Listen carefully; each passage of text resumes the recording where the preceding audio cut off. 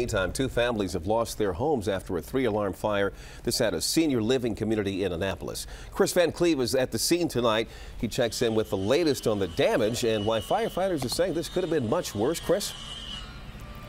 Well, guys, this fire moved very quickly. By the time firefighters got here, there wasn't much they could do to save these two homes. They kept the fire from getting worse, but they say it was something else that kept this situation from becoming truly tragic.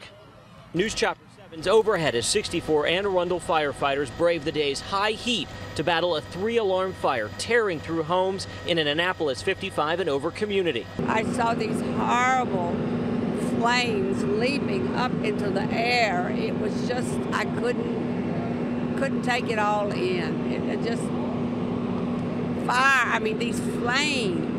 76 year old Shirley McDonald rushed towards those flames. Her friend lives in the corner house where it appears the fire started in an enclosed back patio. That I thought it was going to engulf that whole row.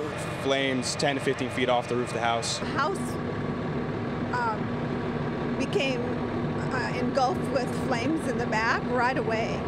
It seemed like it took forever for the fire department to get here, but they got here very quickly. Firefighters contained the blaze to two homes, but at least three others suffered damage from the fire burning so hot it melted the siding on homes hundreds of feet away. At least one senior citizen was home when it started. Fortunately, the houses have sprinklers, and that bought her enough time to get out okay. In this case, sprinklers made all the difference in the lives of these occupants. And I came and put my arms around her and uh, said, Lord, I'm praying for you. She said, Oh, honey, it's just a house. It can be replaced.